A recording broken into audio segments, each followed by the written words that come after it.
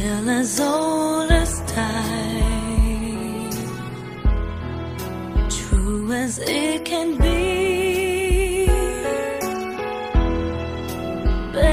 Even friends that somebody bends unexpectedly. Just a little change